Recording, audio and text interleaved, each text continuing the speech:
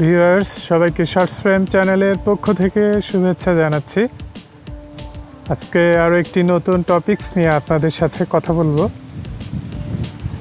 Viewers, আমরা ভারতে যাবার সময় আমরা সব বিষয়ে কিন্তু অনেক সতর্ক থাকি।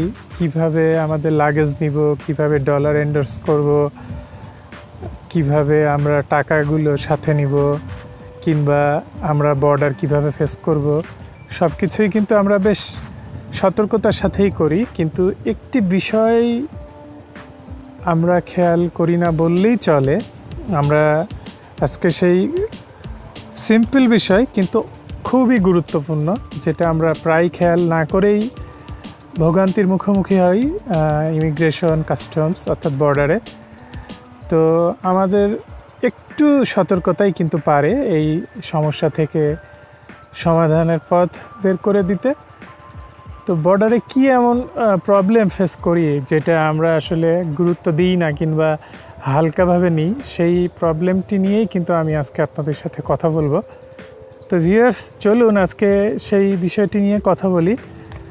আর একটু আপনাদের সাথে হাঁটতে হাঁটতে রেল লাইনটি দেখাই। হ্যাঁ রেল লাইনটি কিন্তু সোজা ভারতের দিকে চলে গেছে।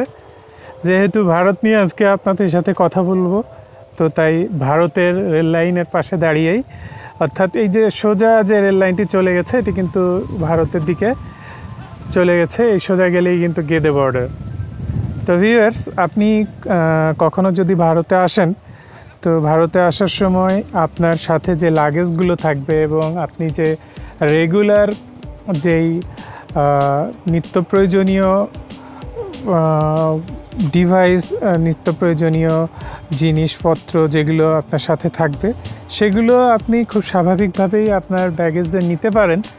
কিন্তু একটি বিষয় আমাদেরকে কিন্তু খেয়াল রাখতে হবে, সেটি নিয়ে আজকে আমার কথা বলা।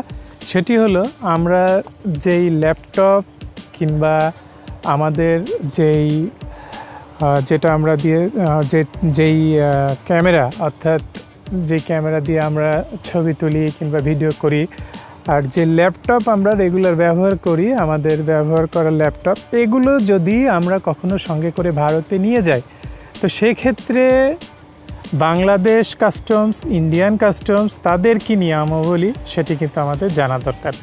তাহলে আমরা খুব সহজেই কিন্তু এই ধরনের হ্যাসেল থেকে এই ক্যামেরা এবং ল্যাপটপ সাথে নিয়ে যাবার সময় যে হ্যাসেলগুলো হয়, সেটা থেকে কিন্তু ফ্রি থাকতে পারব।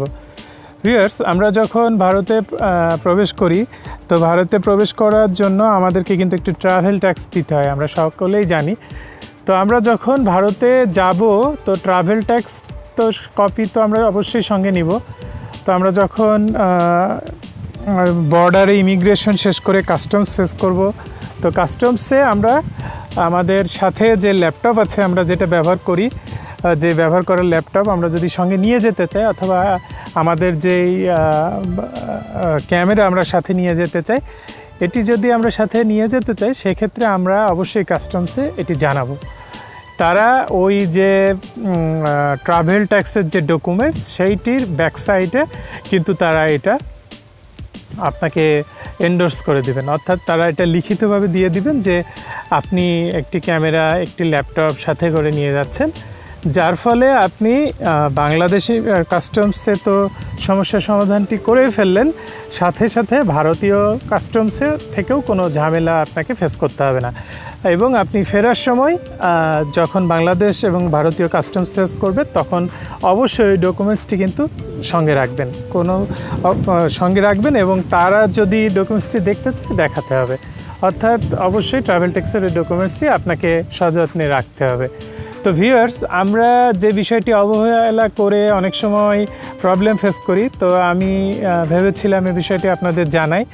তো আজকে তাই আলোচনা করলাম বিষয়টি নিয়ে। আশা করি আপনারা উপকৃত হবেন এবং আপনারা যদি একটু সচেতনভাবে বর্ডারে বিষয়টি কাস্টমসে উল্লেখ করেন, তাহলে আশা করি আপনারা কোনো ভোগান্তিতে পড়বেন না। তো ভিউয়ার্স এই ছিল আজকের ভিডিও আপনারা সবাই ভালো থাকবেন। আমাদের চ্যানেলটি সাবস্ক্রাইব করতে ভুলবেন না।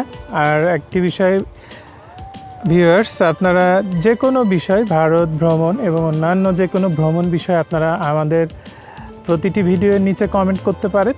আমরা আপনার ভিডিওর, আপনার কমেন্টসের উত্তর দেওয়ার চেষ্টা করব এবং অবশ্যই আমাদের ভিডিওটি লাইক করবেন। সবাই ভালো থাকবেন ভিউয়ার্স আল্লাহ হাফেজ।